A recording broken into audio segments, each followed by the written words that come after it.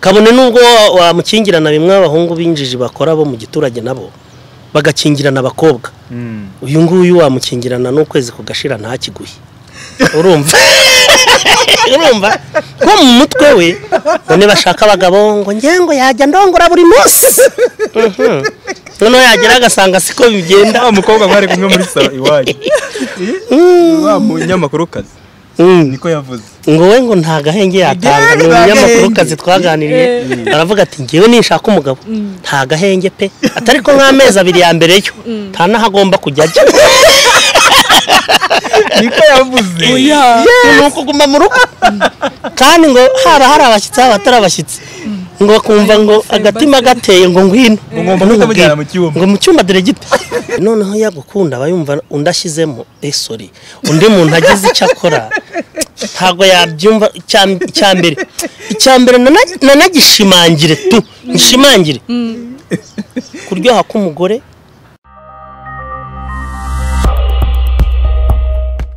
Ngo wahe ikaze nkwifurije kumererwa neza wowe ufunguye iyi videwo none ahangaha eh, mpere kuri wowe uri mu rwanda. Nambuke i burundi nkomeze mu bindi bihugu biri muri afurika i burayi. Umuntu ukunda kureba filime zo mu rwanda zigezweho. Ngo zirimo uyu nguyu murimo murabona ibumoso bwanjye kuko ni we ukina gusa. Eh, wazisanga kuri website urayizi? Eh, website.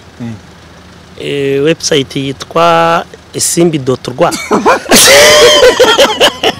Website wasangaho filime eh bashobora kuyihasanga. Oya, yitwa zactv.com Eh, arakwica izacu tv doti komu Eh, ni- Kuri zacu ni- TV dot eh, com. ni ho haba hari amafilime mu by'ukuri yo mu rwanda. Amenshi ni ho aba ari. Kandi agezweho. Agezweho aryoshye ni ho aba ari pe. Utangiye kwikora mu maso? Eh, ntabwo ushobora ntabwo ushobora iki? Ega bizarangira be. Hari ibitazarangira se? Iyo umuhindo yarahise. N'ibyo tugiye kuganira na makuta mahindu samusure ari kumwe na wa mukobwa musanzwe mukunda witwa Claire Mbazende TBT Rwanda. Muraza kumwumva natubwira ibyo tuteganyirije nifuje ko tuganira n'aba bombi tuganire ku ngingo zitandukanye. Eh, makuta na yo yagarutse TBT na yo namugaruye nizere ko biri bugende neza. Ahandi se mumeze mute twari turi aho. Hanyuma bihise bihinduka. ibiti bihindutse sabe mwari muri aho ariko noneho birahinduka Mm, turi aho nyine nawe si ibihe turimo ntubizi. Cyangwa turaha turi aho. Juliet se ari aho? Mm, nawe ari aho ameze neza. Eh, neza. mbariza makuta impamvu amaze igihe yararyamishije abafana atabaha filime makuta ni igiki cyabuze kugira ngo mahindu tuyibone. Mbo mahindu eh, nabaye nyicumbikishijeho gato kugira ngo mbanze nshyiremo makuta ariko mahindu na yo nimo ndayikorera umuti. Ashaka kuzayibaha itazongera guhagarara. Icyo ni kimwe. Eh, eh, ma- warumbajije mahindu? Nagiye nabajije makuru ya. Noneho kuki makuta? Muri ibi bihe nta kintu cyatugeragaho nta gasizoni. Mbo impamvu muri ibi bihe ngo twari twarazikinnye tumaze kuzikina eh, aba aba timu tekinike yazikoraga. Buriya bafunze iri ku gisenyi. Noneho bafunze iri ku gisenyi ama, ama, ibyo twari twarafirimye byose babifiteyo. Bituma rero tutabasha kongera kubona izo dushyiraho urumva ntibari buze ntibari kuzohereze kuri interinete zi- zangeraho zataye imbaraga. Nuko. Bituma rero tubategereza. Twagize amahirwe rero eh, haba- ba- ba- bahereza umushoferi umwe mu batwara bya bikamyo bituzanira bya bindi tunywa by'amafanta. Nuko.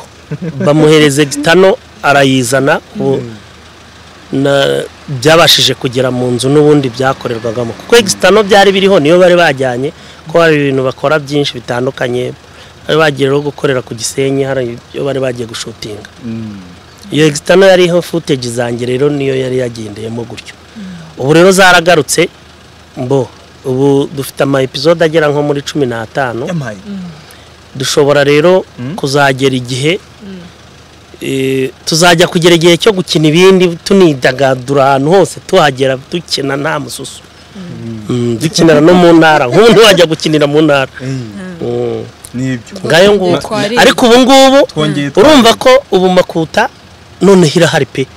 Uhereye ubu ngubu twaraye dushyizeho igice cya gatandatu urumva ko guhera none ku wa kane bazayibonera igihe saa tatu izaba yabagezeho cyangwa se saa mbiri za mu gitondo. Ubuse turaza kuyisanga he ko twari twarabyibagiwe n'ubundi ni kuri rwa rubuga rwa karisa erineste filime kuri yutube nyine.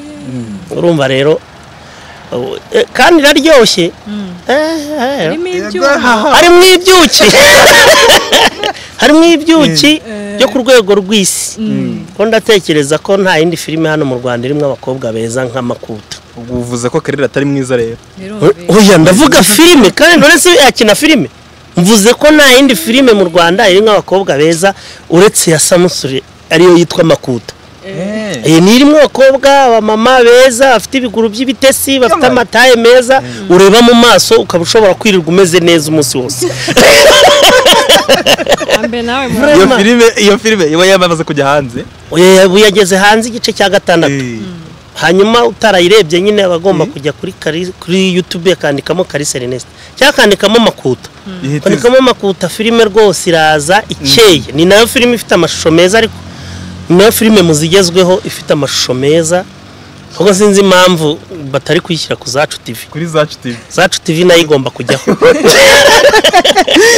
Kere eh, tibiti se muri aho? Ehe turaho turakora. Nk'ibisanzwe ibiganiro byacu.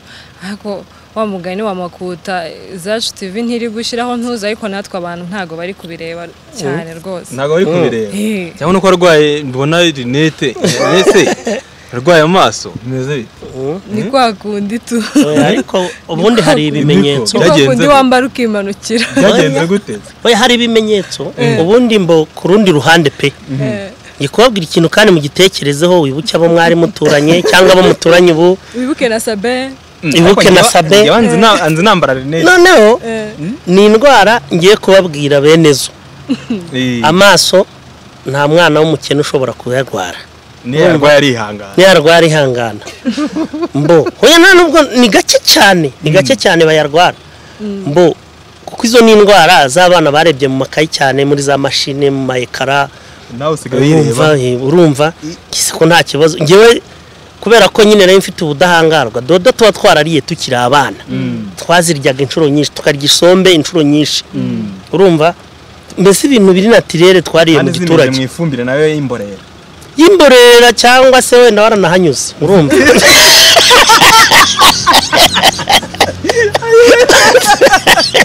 urumva?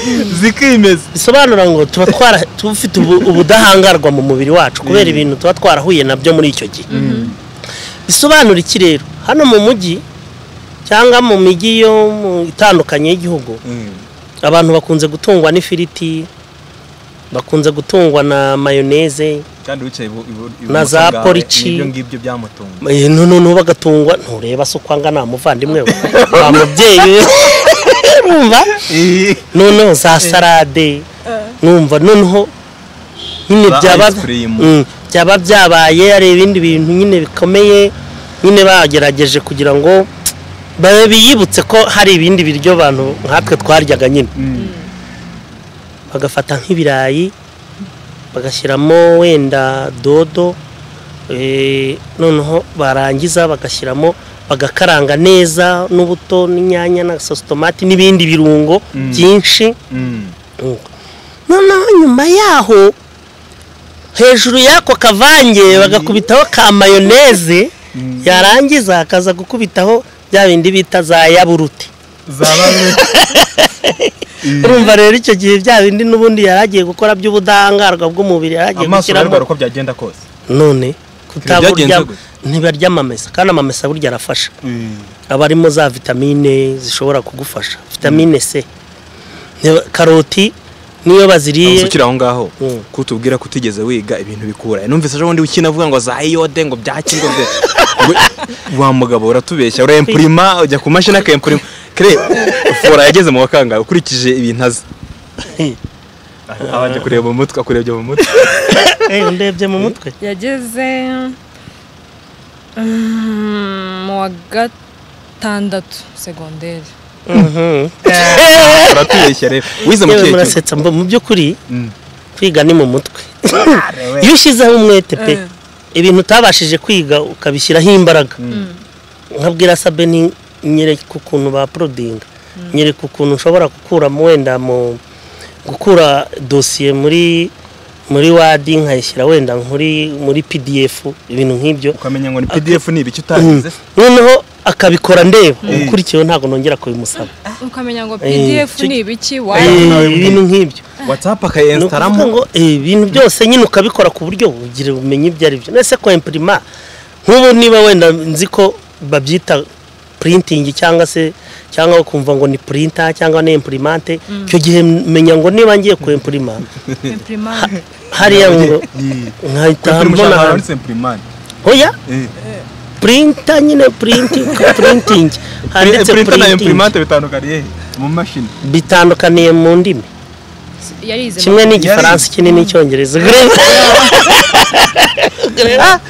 Eh, kandi ni- ni we wiyandikira makuta nta muntu wanyandikira. Mm, ndiyandikira. Ntabwo editinga mm, Eh. kweditinga ntabwo ndabimenya ariko mbi- mbiri nabi.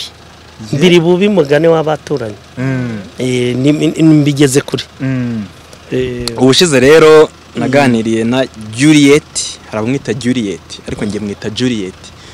Naganiriye na Juliet na Makuta bampaye ikiganiro ki- kitari kibi. Ariko hari akantu bavuzemo ntari bugarukeho mm, ahubwo njye ndashaka kwibariza Claire. Ese ikiganiro we ntiwakirebye ko usetse Claire kuki uri kunseka mbwira impamvu urimo uranseka nari mbakumbuye babyeyi arewe Cyane. Mm. reka nkwibariza akantu gatoya. Niki kigutera guhangayika muri wowe? Ikintu kinera guhangayika iyo napanze nk'ikintu ndi bukore uwo munsi bikarangira ntagikoze cyangwa gipfuye ntikigende uko nabishakaga ndahangayika pe. Urahangayika. Ubwo mu buzima busanzwe n'akazi ukora ngo birumvikana nyine ko ukora karazwi niki kiguhangayikisha nyine muri byo Eh, nk'iyo napanze guhura n'umuntu ngo aduhe interiviyu akadukwepa cyangwa nabwira nk'umuntu wenda nabwira wenda nka sabe ngo wangeje kuri kanaka ntabikore icyo gihe ndahangayika. Abumva bumvishe ni ibyo ngibyo icyo gihe ndahangayika bitewe n'akazi nkora kuko urumva niba ariko ari byo bingaburira. Ugasanga ntabwo bigenze neza ndahangayika. None se samusung karame. Wagira kakongeraho ibintu umuntu atavuze. Yihangayikisha Eh? Eh? Eh, eh, mumbariza ikimuhangayikisha ni cyo nari ngiye kumubaza nyine? Eh, mu buzima bwawe kijya kiguhangayikisha kabisa ku buryo wavuga nkabura uburyo ukumva n'umutekano. nyine ntabwo bimeze neza muri wowe. Iyo hashize ukwezi ntagira nshobora kugira nshobora gutekereza nabi. N'ibyo nkoze nkajya mbikora ndahari neza. Ariko kuko mba ngira ngo byibuze rimwe mu kwezi ngire. Ubwo ugira iki? Ni ukugira nyine tu. No- yo- yo maze- yo mu kwezi. Tuvuge rimwe mu kwezi iyo ngize. Uko kwezi kose ko nkunda kugira mu matariki ya mbere cyangwa ya nyuma y'ukwezi. Ni ukugira ute nanjye Urumva? mumbarize kare. Neza nko mumbarize nk'umuntu uyobora ibiganiro kuri reka mbahe nk'urugero rutari kure. Iyo ugiye iyo ugiye kuririmba iyo ugiye nko kuririmba tuvuge nyine indirimbo ukayivimuzi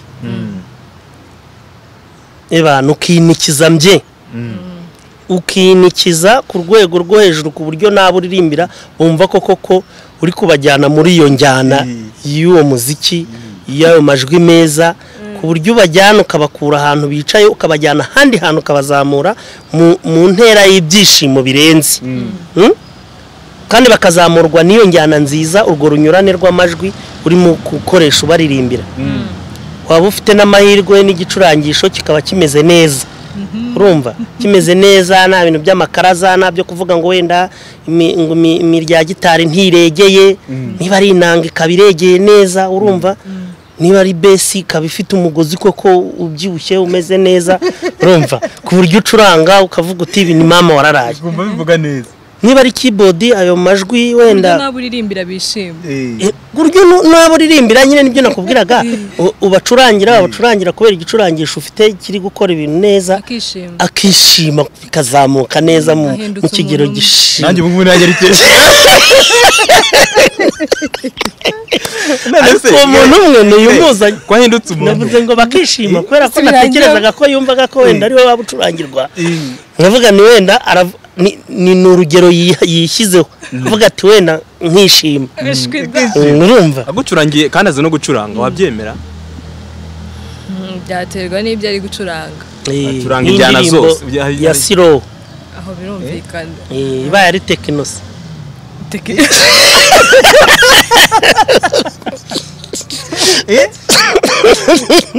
tekino ntabwo uyikunda Yo, yes, slow. Ukunda sirowu Urajya wenda uzicuranga? hakazamo na zukemo gakeya bitewe na de- rumba uri Eh, kubyumva yego ni byo ni byo ni byo kabisa. Oya kirere rwose mu by'ukuri unyeretse ko eh, utari umwana. Kandi baguhaye inzuzi ntiwazotsa. Urumva? Ntiwazotsa wamenya icyo gukora. Ushobora kugenda wenda bakaba barakubonyeho umwana ufite akaboko. Umwana ufite akaboko ko gutera eh, apana akaboko karekare ko akaboko gutera inzuzi. Ko gutera inzuzi kuko inzuzi ntabwo zihabwa n'uwo ari we wese. Iyo umuntu agiye gutera inzuzi azihabwa n'umuntu umwana bazi ko ashobora kuba afite akaboko keza. Gashobora kuzatuma ibicuma cyangwa se ibisabo cyangwa igihaza cyangwa byera bi- ntibibure wowe rero ushobora kuba nawe eh, simvuga wenda simvuze ko atera ishabasi ntabyo nzi. Ariko ndabizi neza ko mu gitondo umuganirije wirirwa neza. Ndumva rero atari mu batera imyaka. Se abatera imyaka wowe urabemera sabe ntabwo mbyemera. Kare wowe urabyemera ko umwaka ubaho? Ntabwo mbyemera. Ubundi umwaku ni ikintu wisetinze mu Se- bwonko. None Eh. se wamusuka ujya umbwira ngo ngo kandi ubu namutera umwaka ubu dukanga gusa. Oya ijambo burya ururimi ururimi mu bintu bibaho byose. Ururimi ni rwo rukora ibintu byose. Ni na yo mpamvu burya iyo urushoye wenda nko mu bintu byinjiza cyangwa se ukavuga uti ndushoye ahantu. Ugashora umuntu. Aho warushoye aho hantu byanze bikunze. Byanze bikunze. Ahantu warushoye ntabwo bashobora kuzakwibagirwa. Baravuga bati mu by'ukuri uriya muntu yadushoyeho ururimi kandi rwaratunyuze kuko ukoze nk'indirimbo cyangwa nkawe sabe ukaba uvuga uti ngewe mu byanze bikunze umunwa wanjye. Ushobora kuwuteza imbere mu bijyanye no kuwukoresha nshimisha abantu. Aho turi kuganira na kereri ukaba uhari. Tuvuze ko wowe ni gute wakoresha ururimi nka gutya wenda ukaba wagira icyo ufasha kerere kerere nonse kerere wenda tuvuge nk'urugero. Bibaye ngombwa kutokorwa. Nta hantu hari ibyatsi ngo umuntu agishinguzemo cya cyatsi cyoroshye agutokoze. Ndafite umwuka ushobora kuvanamo icyo gitokorwa mu jisho. Ariko ururimi kubera ko ruroroshye n'ubundi ni rwo rutokora neza burya. Nka- bikaba ngombwa ko ari rwo nkoresha ngutokora. Ntabwo nagutokora. Nta ntoki ufite se? Intoki kandi zangije ijisho. Ijisho. Ariko ururimi ruba rubitse ahantu heza nindi ukurayo ndaruzana rumeze neza nta kibazo nkureho igitokorwa wagize mu jisho. Ubundi wimanukire. Ubu utyo. agahita yimanukira urumva Eh. hari ikindi hari ikibazo cya- cyaba kirimo aho ngaho cyabitwaye ikiza ariko kere none se abuze umwuka se uretse- bakansaba ko nkuguha sinawuguha si ukumvura se nka kera najya rero mfata ururimi rwanjye nka- nkarukoza ku rwaye nkumva neza niba ruri gukora umwuka wagarutse nyine. Kumva niba ufite imyuka. Reka nkubaze akabazo nakabajije Juliet ubushize ari ibishoboka. Cyangwa se bibaye ngombwa nta yandi mahitamo ufite icyo kibazo kirazamo amakoto we yagiye nta mahitamo ufite sibyo ahubwo bati shuwa yonyine usigaranye ku isi. Ni uko uyu mugabo akubera umugabo. Samusure. Wabyemera ari donc niyo mahitamo. Niyo mahitamo? Ari ibibaye. Bakubwira bati amahitamo ufite ni uko samusure akubera umugabo nta wundi. Bitaba ibyo ukibera ibindi nyine bitari ukushaka umugabo. Kaba masera akaba masera ubanza ni abamansera amakuba kubera iki kubera iki ngo namuhoza ku nkekera ni byo abavuga mbwira kire mbwira impamvu oya makuta urareba makuta aho kugira ngo ambere umugabo sibyo yambera umuvandimwe none se ni umuvandimwe wawe se nta bavandimwe ugira sumbajije abavandimwe ndabafite. Bibaye biramutse. Ariko yambera umugabo yambera umuvandimwe. Amubera musaza we. Yakubera musaza wawe. Ariko utari ariko wowe ni kandi mwiza kandi musaza w'umuntu. Cyane. Kandi amuba hafi. Amuba hafi. Nta kibazo ashobora kugira mpari. Ntagikemura kandi noneho akarusho. Noneho musaza w'umuntu. Mm. uvuga ngo uyu nguyu si ubwo mu bibazo wagira ntabasha gukemura keretse ibikenera wenda guhabwa nka garagisi urumva sinayi. Ikibazo uki- ugira wumva atabasha gukemura? Ntacyo. Ntacyo pe. Mm. none se samuso kubera iki? Kubera iki? Kubera iki abakobwa bagutinya Juliet naramubajije Eh, eh. ni iki umuntu yagukorera kugira ngo wemere gushakana na samuso we yaravuze ati sha nabivamo nkibera aho ngaho gusa kubera aba- abakobwa bagutinya impamvu rero ngiye kuyikubwira kandi uyumva uyiteho Eh. hanyuma n'abandi babyibazaho nabo babyumvireho mu by'ukuri kubera imyaka amaze kugira abantu benshi batekereza ko nshobora kuba narabitewe no kuba ahari wenda ntarigeze ngira inzara yo kuba nashaka Mm. Muri uko kutagira inzara rero bakavuga bati byanze bikunze. Ushobora gusa ni uko wenda hari umuntu atareba ngo abe yareba umuntu uko byagenze bashobora kuba bakeka ko nshobora kuba mfite kentusi kentusi Kete usaga na heza Mm, hano gutya. Urumva cyangwa se kubera gutera amakofi cyane. Ko ntabwo wagira imyaka nk'iyanjye utarateranye ingumi Mm. utarakirimbanye urumva Kentusi hano se hari ikibazo? Umugore ntiyayihanganira. Mm. Ntabwo aho kugira ngo uzane ushake umugabo ufite ibitoki bimeze nk'ibitosho. Mm. ntabwo biba ari sawa burya ushaka abafite intoki zoroshye zorohereye ku buryo mbese ziba zitarakoze cyane. Ngo zibagare ibishyimbo zigire gute urumva? Ntekereza rero ko bashobora kuba bas- bashobora bakeka ko nshobora kuba mfite amabavu ku ntoki. Kandi ntayo pe. Nta mabavu ntayo. Cyane cyane ko imana yatugiriye neza ikaturemera umubiri neza. Mm. Kandi no mu byo yitondeye pe. Intoki zacu yarazitondeye Yeah. yitondeye intoki zacu ku buryo bufatika ku buryo uko byagenda uko ariko kose. Uhise uzireba ubu na byo n'intoki zawe ziba ushobora kuba ukunda akarere mu buzima busanzwe. Oya karere ni n'umwana mwiza ariko. Byongeyeho ni umwe mu- muri mu mu bantu nemera sinjya nemera udukobwa duto. Natwo turabizi. Mm. Ntabwo ndakareba avuga ngo yo buse ako byibuze nka karere urabona ko harimo umutamiro Hmm? yego si umuntu si si imyaka ngo araribwa ariko umutamiro w'ijisho. Umutamiro w'ijisho. Ijisho rikareba. Nk'iyo utambuka abantu barakureba bakavuga eee dore icyo gikobwa sha. Ntibajya babivuga se. Wihitiye. Hari n'igihe ushobora kugera ahantu ugatinya kuza kuhanyura wanahanyura ukagenda ureba imbere wihuta. Ko njya nkubona. Wihuta cyane kuko uba uzi ko hari ikintu bari buvugeho. None se kire ukurikije ukuntu uzi samusure n'ukuntu mumuvuga yaba we na Juliet n'abandi mubazaho buri wese ahita ambwira ati shwi. Nasi yarambwira ati sha wapi kabisa? Ndikubeshye se ati wapi? Eh. Uza ahantu aba ndabizi neza ko- kuko mwahakoreye ikiganiro. None se si uhazi? Kusete ndahazi. Utari kumwe na Juliet na cameraman adahari. Uyu mugabo wamusura cyane. Namusura none murizeranye cyane. Erega kwizerana niyo mpamvu nakubwiye ni ibintu byose ni mu mutwe. Ibaza ariko umuntu nakubwiye ko yaba nka musaza wanjye. Urumva nta kibazo nta kibazo. Nibyo? Hey kandi nanjye namusura iwabo badahari. Nta kibazo. Nta kiba bitwaye none se kuki ashaka kugusura badahari? Oya No, ni urugero nyine dutanze. Eh, nta kerere ni umu- ni umukobwa kimwe na mugenzi we bari sempatike icyo ni icya mbere Mm. baranasobanutse. Kandi kerere uyu ntabwo ari umukobwa wajya gukora ikintu atateguye. Uyu si umukobwa wafata ku ngufu. Icyo ni icya mbere. Uyu si umukobwa yaranabivuze nawe utagira ngo. Eh, Yavuze ati, "Jye ikindi eh, ikindi. Kabone nubwo wa- wamukingirana bimwe abahungu b'injiji bakora bo mu giturage nabo bagakingirana abakobwa. Uyu nguyu wamukingirana n'ukwezi kugashira ntakiguhe. Urumva? Urumva? Ko mu mutwe we mutwe we mbere na mbere haba harimo ko haba harimo ko wowe ushobora kuba watekereje nk'injiji nyine. Urumva? Eh, ni ukuvuga ngo kerere rero ntabwo ari wa muntu kandi si wa muntu washukisha amafaranga kugira ngo akunde aguhe. Uyu nguyu ntabwo wayamushukisha. Wigeze ubigerageza se? Kandi ntaramuterese njyewe mba mubona gutyo gusa kuba tuziranye.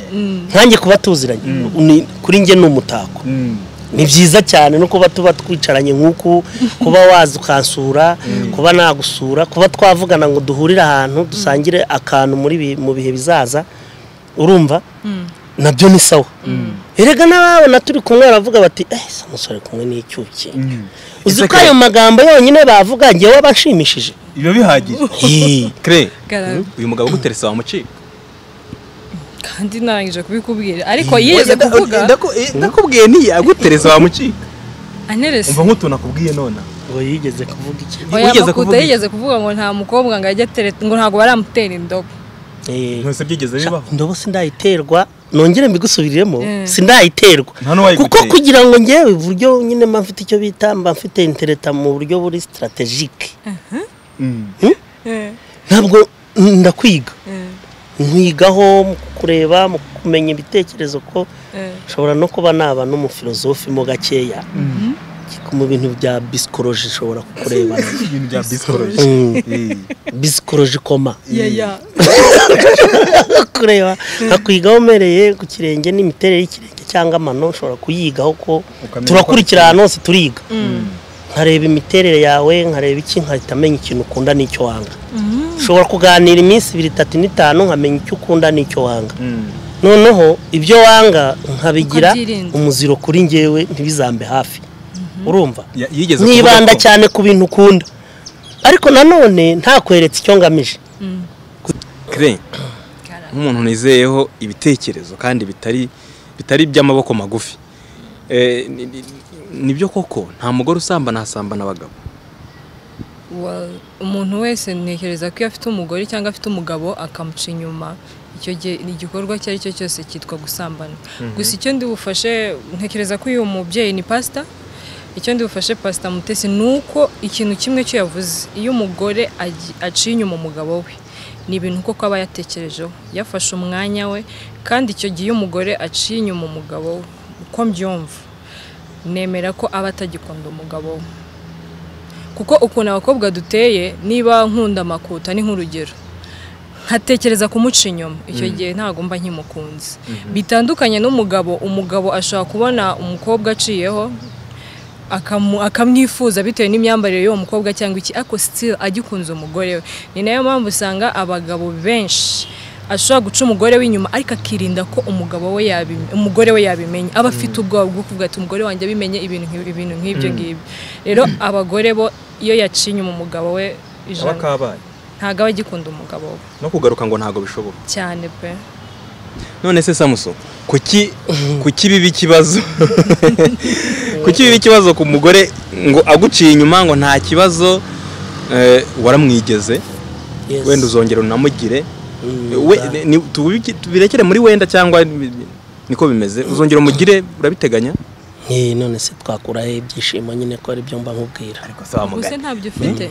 Mfite neza. ibyishimo bituzuye kire. Eh, ubu- ibyishimo byanjye ntabwo biba byuzuye. Mm, ariko nk'ubu ngubu nimbona eh, eh, hari uburyo nzajya mba mbyutse simbanze ariko impamvu buriya bituzuye ni uko ugira rimwe mu kwezi. Siko watubwiye eh, rimwe mu kwezi. Ariko naza noneho ntajya aza rimwe mu kwezi bizaba ari byiza buri kurushaho munsi noneho. Ntabwo ari buri munsi. Kandi nanabibwira abantu bajya babitekereza ko ngo nibashaka abagabo ngo ngewe ngo yajya ndongora buri munsi. Mhm. noneho yagera agasanga siko bigenda. Wa mukobwa mwari kumwe muri salo iwanyu wa munyamakurukazi Mm. Niko yavuze. Ngo we ngo nta gahenge yatanga ni umunyamakurukazi twaganiriye aravuga ati ngewe nishaka umugabo. Nta gahenge pe. Atari ko nk'amezi abiri ya mbere yo. Nta n'aho agomba kujya ajya. Niko yavuze. Ni ukuguma mu rugo. Kandi ngo hari abashyitsi haba hatari abashyitsi ngo bakumva ngo agatima gateye ngo ngwino. Ngo mu cyumba. dore gito urumva. Abo bantu rero nagira ngo mbagire inama hakiri kare tudatandukiriye wenda icyo twari turi kuvuga ntabwo turi bubyibagirwe nyaboneka hari abakobwa nyine ba- bagurumana muri ubwo buryo bakumva ko ngo nagerayo nyine kubera ko ngo buri gihe aba yagurumanye. Kumva ko nashaka umugabo uwo mugurumano azajya akomeza kuwugurumanira no ku mugabo. Mu by'ukuri umuntu ni umuntu kandi uriya mubiri dukoresha iriya mirimo. Iyo umaze gukora kiriya gikorwa biba bisaba izindi mbaraga kugira ngo wongere ureme izindi ntantuza. Urumva? Kugira ngo n'izindi mbaraga na zo ziboneke. Kandi noneho iyo umuntu afitemo yifitemo kumara iminsi adakora biriya bintu iyo abikoze kubera bikora bikunze ye nasanze ari naho urukundo rwinshi ruba ruri n'uwo muri kumwe uba umubona nk'i- nk'igisubizo kuri wowe umubonamo byinshi. Urumva? ku buryo mbese uba uri kumubona eh, muri ako kanya aba ari imana yawe. Eh, kuko abaje gukemura ikibazo umaranye iminsi. Kandi noneho icyo gihe ntago ubu nawe uyi- uba wiyizeye nawe ko uvuga uti igikorwa tugiye gukora. Ndacyizeye. Wa- kandi ntabwo uba uri bwinyuze hirya no hino ngo ugiye gushakisha imbaduko. Wapi? Uj- upfa kuba uzi ngo byonyine muri kumwe cyangwa muri bubonane. Nshaka imbaduko ntakubeshye ihera ubwo nyine. Kere hari abakobwa babitekereza gutyo nk'uko uwo munyamakuru kazi ni inshuti yacu Yego. ntabwo ngo ushobora gusanga unahise umumenya ndamusuhuje. Abakobwa babitekereza gutyo. Bon, azagende gake. njye ni ubwa mbere mbyumvishe kuba utamuha agahenge ntabwo mbizi pe. Ni ubwa mbere mbyumvishe. Bitewe n'ubwoba. Ubanza ari indwara ariko. Oya si uburwayi kuko gushamadukirwa kw'abantu ntabwo ari kumwe. Nk'aho ushobora kuba ushamadukirwa mu mazinga undi akaba ashamadukirwa mu bihe byose. Mm. ubwo uri wumva icyo gihe ntabwo wamurenganya. Ariko kandi hari n'igihe aba atarigeze abona igihe noneho yisanzurira kuri iyo ntuza ngo ayisanzureho. Yumve ko koko yisanzuye ayihaze. Urumva? Akavuga ati ingira ku mugabo. Sha. Ndakuruhuka. Iyi nta kuruhuka ni ibyo aba yitekerereza ariko ugeze ku mugabo mu by'ukuri utamuhaye agahenge hari n'igihe waba ikibazo kuri we aho kugira ngo umubere igisubizo ukamubera inzitizi mu buzima bwe. akaba yanakwahukana kandi akajya yahukana mu buryo bw'akazi kandi atari ukwahukana ari ukuguhunga. Kere mbwira ukuntu wari murabitekereza mu bakobwa mubyumva gute cyangwa mubitekereza gute? Kuko urumva uwo nguwo niba ari umwe wabitekereje gutyo? Erega ibi ngibi bishobora gukanga umusore akavuga ati ye ibi bintu ntabwo nabijyamo. Sha- nta bintu byinshi ndi bubivugeho pe ntabwo nari mbizi ibi bintu. Ntabwo wari ubizi. Ni ukuri kw'imana. Ntabwo arazi ko hari umuriro wageraho. Ya. Mm, ariko ntabwo ntabwo ari ikibazo kubivuga cyangwa kubitekereza gutyo. Mu gihe cyose umuntu ataragera ku kintu ngo akimenye nk'ubu kera kera nabayeho mucoma nigeze kotsaho ushobora no kuba ataragitwara na rimwe yumva agifitiye amafemu. afitiye amatsiko. Ya. niyo mpamvu wowe nta kibazo biguteye. Ibihe? Ibyo ngibyo nyine kuba nta kintu yawe Oya, yawe ese bararoga iwabo? Urumva arata? Ngubwo araguhakaniye Mm, aragushyigikiye oya, muri make. ntabwo. Kamemu unganye gutya nta kintu urakora. Sinshyigikiye ko agombye kubikora hato na hato. Ariko byibuze iyo umuntu ari umuntu kandi umubiri ukora nk'uko ibindi bikora afite n'inyama y'urukundo muri we ntabwo hagera iki gihe atarakundana na rimwe. Icyo gihe bibayeho ni ukuvuga ngo aramutse anashatse. Ntabwo yagusukira n'aya- n'ayariba yaba ari igisambo ku rwego rw'isi. Kutangaye. Mm, eh, ibyo avuga sinabizi ubwo ni byo wenda. Bifite rega ni inararibonye muri ibyo bintu. Nicyo ngo bantinyira. Nicyo ni cyo umutinyira Ahaha. njye mbona ariko ari na cyo bankundira. Njye mbona ari cyo bagakwiye kunkundira. Kuko Eh. ntabwo ntacyo yamburana. Kandi n'ikindi gihe yaba yagize ikibazo wenda yagize feburese ku ruhande rwe ntamenya uburyo muteguramo kugira ngo tuze kujyana mu rugamba neza twese turi twakokinze twafunze butu gikomando urumva? Wari umiwe ariko twese ndashaka ko twese tugaruka twari kuri ka kantu. Ka kantu niko ka nashaka wa kubwira. mudamu. Eh, pastor mutesi ati Mm, nta mugabo usambana burya. Ati mwebwe mugira irari gusa sam tubwire mbo ibyo yavuze eh, umugabo ariko mbo wenda ni yashatse kubivuga gutyo ariko n'ubundi se ntaba yasambanye ahubwo ntabwo banganya imisambanire. Ni ukuvuga ngo ngewe uko nabyita ibyo bintu nsesenguye neza. Nsanga abagore eh, nabaha mirongo inani ku ijana mu bintu bijyanye no kumenya kwifata no gukunda kurusha abagabo. Kuko niba umugore abanza kubitegura ni uko aba yakunze umuntu. Yakunze umuntu akagera kuri urwo rwego kuko ntabwo ntabwo nanabarenganya. Bibaho pe. Hari n'uwo bibaho atari uko yanze umugabo akakubona akagukunda akarwana n'umutima igihe kikazagera akabikubwira noneho yasanga nawe uregeye ugahita umubwira uti nta kibazo. Umuntu yagufashaho gatoya kibi ni uko wasenya urumva? Ariko uburyo bakundamo yakunze. Urukundo rw'abadamu ruragurumana cyane si nk'urw'abagabo. Kare ni byo? Nta nabikubwiye ariko. Ese noneho kandi bo Eh, noneho yagukunda aba yumva undi ashyizemo eh sorry undi muntu agize icyo akora ntabwo yabyumva icya- mbere.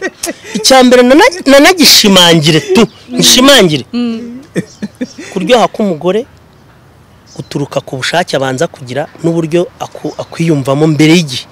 Kuko aba yaranabishatse mbere ni ukuvuga ngo ujya kumugeraho yatuye eh, ndavuga yatuye mu rukundo nyine.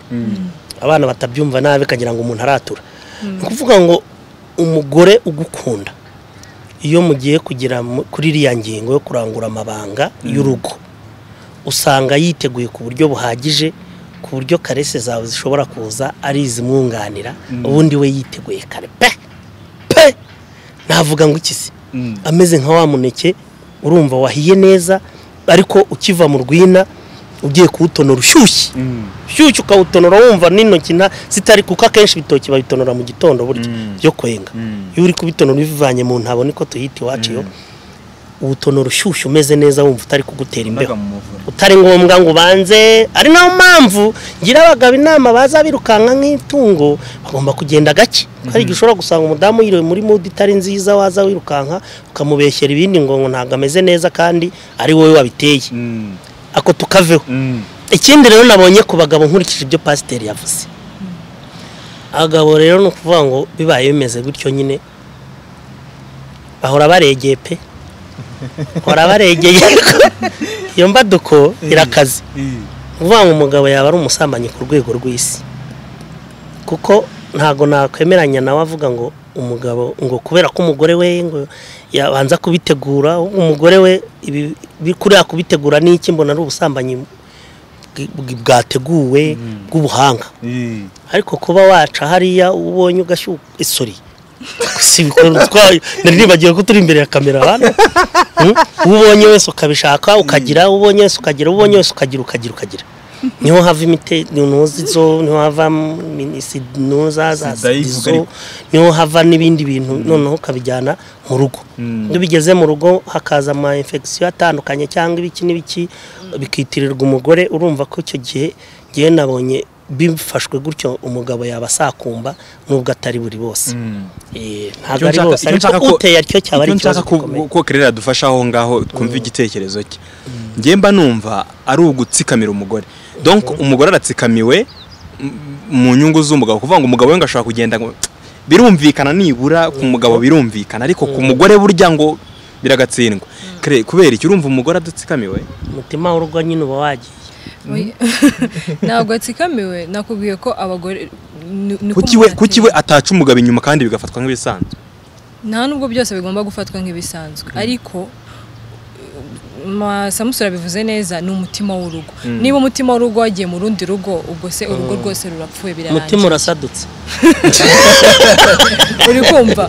U- umugore ni we wagasigasiye urugo niba n'umugabo byagize uko bigenda akaba ari we umenya ngo ndaza kubitwaza gutya. Ariko niba noneho n'umugore abigiyemo urugo rwose ruraza kurangira.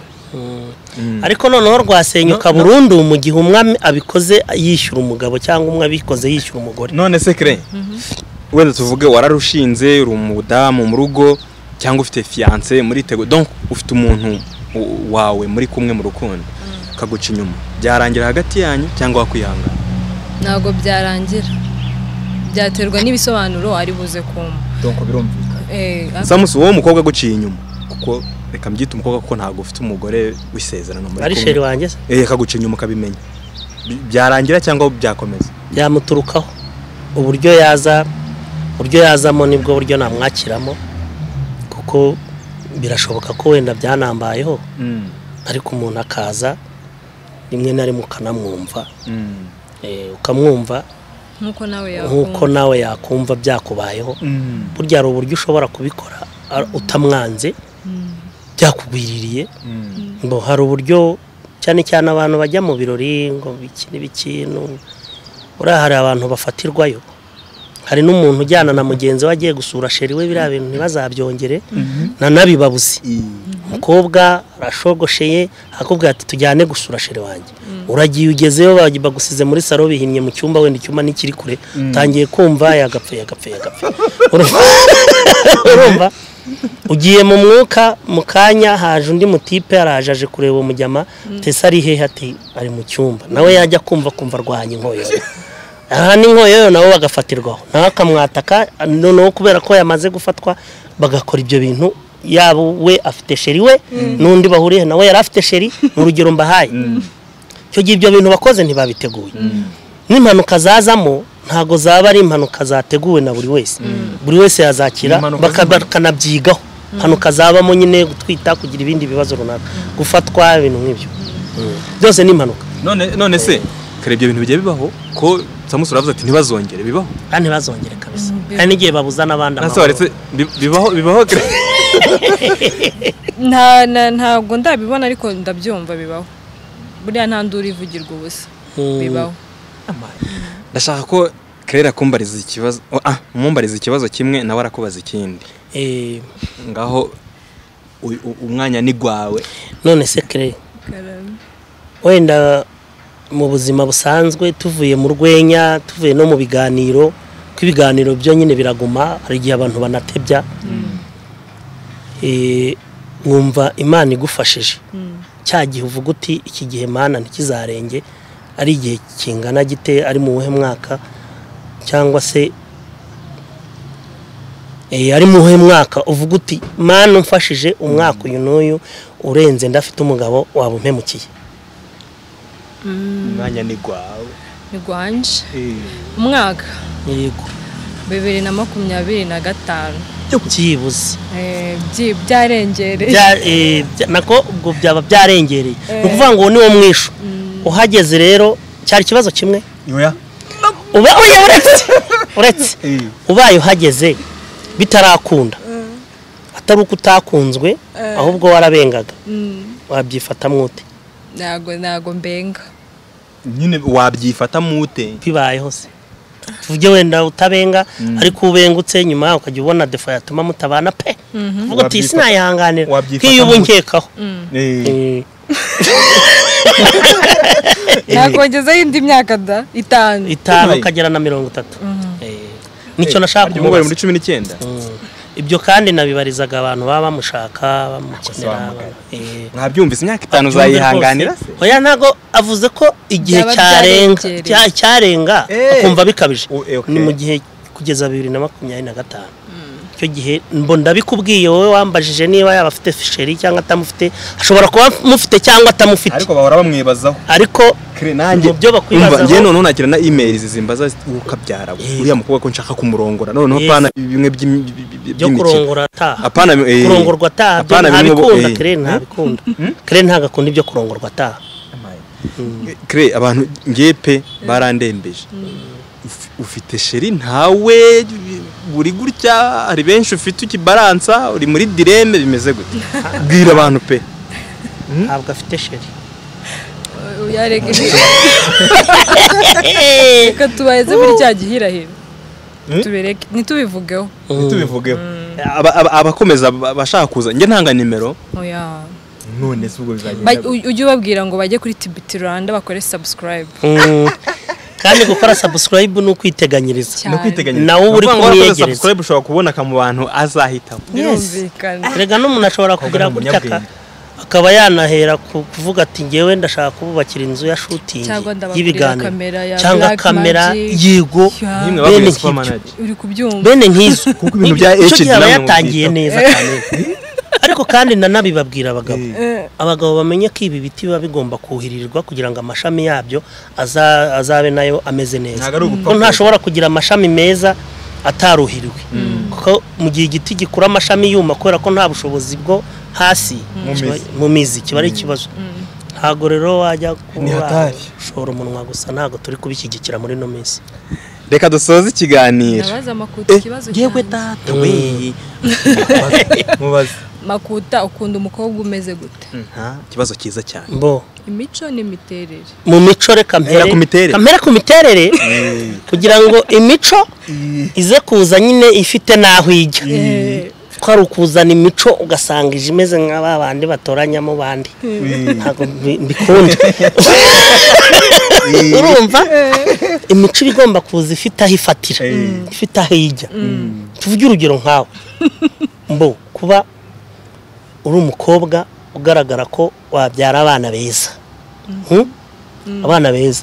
Ko ngewe mba nizi ko defo zanjye ubugufi urumva mbya abana bose bakaba bagufi cyaba ari ikibazo. Ariko umbyariye nk'abana hakabamo abarebare najya mureba nkavuga ngo uriya ninjye wamubyaye. Nk'ubu mama wawe yakurebye abona uhandutse akaza aravuga ati narabyaye. Urumva? Ntabwo uri gihanda bahandutse. Bisobanura rero abaye afite amataye nk'uko ariko ntaharenze. Aho ngaho ku mataye urabona hejuru hejuru ni sawa. Hasi ugabanyijeho nk'ikiro kimwe. Oya kiro hano n'ikiro hirya. Byaba ari ibyo. Yaba ameze nkawe. Hanyuma imico rero agomba kuba mu bwi- mu bwiza n'imiterere n'uyu. N'uyu. Rwose urabona ko uyu mwana w'umukobwa mu by'ukuri ntanababeshye pe. N'abo ndebera. Njyewe ubarebera ni sawa. N'uyu. amaguru yawe wayabahishe uzagerageza abafana bawe ngo baba bakeneye kuyabona kandi nta nkovu ziriho pe uzabereke amaguru. Icyo ni kimwe. Mm. n'uyu muri imico make. rero. Ugomba kuba akunda guseka. Urumva? Yishima cyane ku buryo bigaragarira abadusura abatuzi. Yewe umugore wa rasamusure ahorana morale ni cyo tumukundira. Azi kuganira kuganira kuganira bitarimo gushyanuka. Abagore usanga bigize inshinzi bashyanuka ibintu byose yagera ahantu agashaka kugira ngo abe ari we nuko urumva? Ikindi kuba ari umuntu uzi kwihangana urumva? Guhangana nk'ibintu byo hanze aha ngaha. Naragize ngo ukamuca inyuma akihangana. Oya, guhangana n'ibigeragezo ibyo na byo byazamo. Erega hari umuntu utabasha kwihangana wamuca inyuma akagutema. Eh, buri icyo gihe ntabwo aba afite ubumuntu bukeya ko kwihanganira ibigeragezo kwihanganira ibyo hanze aha azi kubyihanganamo no kuba agira ibanga. Kugira ibanga rero ni ukugumya ibanga babivuga neza abaturanyi eh, kugumya ibanga. Adashyira urugo hanze hato na hato. Noneho ikindi hakaba ni ukuvuga ngo mu bimugize. Hmm? Mu bimugize Eh, bana, bikaba ari sawa kabisa. Mm. n'ibyo niyo ngubu reka dusoze ikiganiro eh, wumva neza neza ari ku wowe? gahuru wumvise ari wowe? Ntago nabyumvishe neza ibya nyuma. Uyu afite akarusho Mm. ko aranasenga cyane. ibya nyuma urashaka kubyumva? Gusenga byo ntiyanabivuze. Usengaga umugore ashobora kuba adasenga akakubera umugore w'umutima. Know. pe.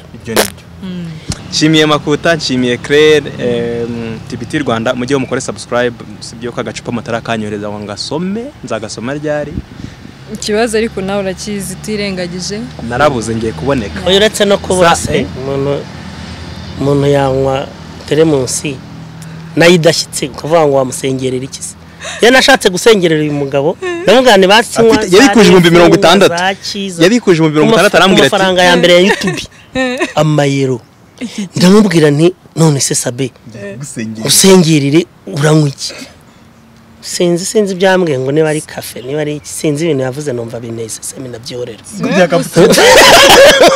kapucino ngo n'ibiki niba ari kapucino ndashaka ibihumbi mirongo itandatu tucara tukabirya tukabimara. Ningurira nuko icyayi. mbona ara- arananiye ndavuga nti nta ese samusi wigeze wigeze urya yawurute ejo bundi barayirya barayinywa? Ba- bayigira Ba- Yawurute bayigira yawurute ba- ba- barayirya cyangwa barayinywa ibyo? mbona barigata bya bindi by'abakururana bagenda bameze nk'abakombakomba muri za egisipo unareshya na kirere nawe arayifite ayisikirimu mu bantu.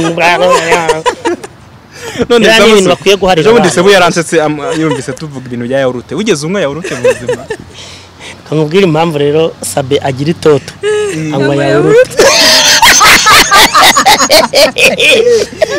icyo kintu cyasekeje seburikoko reka reka dusoze ikiganiro winsebye imbere ni y'abantu. umuti. Yaravuze ngo muganga aramubwiye ngo ni umuti. Ngo utuma ngo umusatsi uba mwishira sawa murakoze kudutumira wakoze cyane. Wakoze. Mwakoze namwe